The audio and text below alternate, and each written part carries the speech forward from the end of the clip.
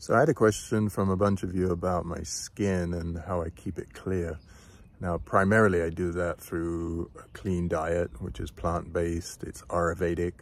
The mixtures are correct for my body type because the first rule of digestion is whatever you eat, you always need to feel good after it. So there's no bloating, there's no indigestion, there's no stomach problems. And then you're going to the bathroom properly. Those two things need to happen for clear skin. So eating everything, digesting it, then going to the bathroom and going to the bathroom every day. If you have constipation, you'll have breakouts. Those two. Then how sensitive your skin is to sun, for example. Um, we need to take about 20 minutes, 30 minutes of kind of warm sun on the skin to give it some good vitamins. Uh, that's another way I keep it clear. And then I don't really sweat a lot. So I play pickleball, I play tennis, uh, I work out in the gym, but I'm not a big sweater. If you sweat a lot, you'll probably break out more as well. So then you need to moisturize the skin. So it's really a combination of that for me. Um, and of course, good sleep, that uh, also really helps the skin as well.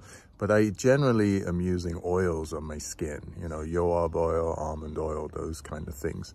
So I'm, uh, my skin really loves oil. So if your skin does, then feed it oil. If it doesn't, then feed it some kind of cream uh, to moisturize. Now cream is less effective because cream doesn't get down into the deeper layers of the skin, but uh, it's second best to oil. And uh, I don't use a lot of oil. I use maybe three or four drops on my face, maybe a drop on my forehead and underneath uh, here, maybe two or three drops as well. So that's really how I keep my skin clear. Uh, I don't use soap on my face either, unless once in a while I use something very gentle. But generally I just um, wash my face with cold water. Um, if, if it's a little greasy, with warm water to get the grease off. Um, but that's all. That's pretty much it. And at nighttime, when I go to bed, I don't use oil. I use a little bit of a thicker cream. That's pretty much it. That's all I do. It's very basic, but it maintains the skin. Uh, the clearer you keep your skin from having too much on it, and the cleaner you keep your diet.